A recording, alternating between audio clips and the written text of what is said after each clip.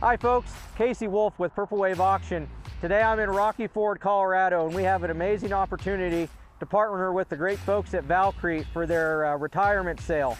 We'll be selling six mixer trucks, several dump trucks, semi-tractors, trailers, and more, as well as two concrete batch plants one here in Rocky Ford and another in Lyman, Colorado. This family's been in the concrete business for over 10 years and has provided a valuable service to the residents of the Arkansas River Valley. We'll be doing an open inspection. We encourage everyone to come out, take a look at the equipment, meet the sellers, meet our Purple Wave staff, and also give thanks to the Kurtz family for their service to the Arkansas River Valley. All of this equipment will sell no reserve to the highest bidder on March 28th in our construction equipment auction. If you want to learn more about this equipment, visit purplewave.com. Straight, simple sold.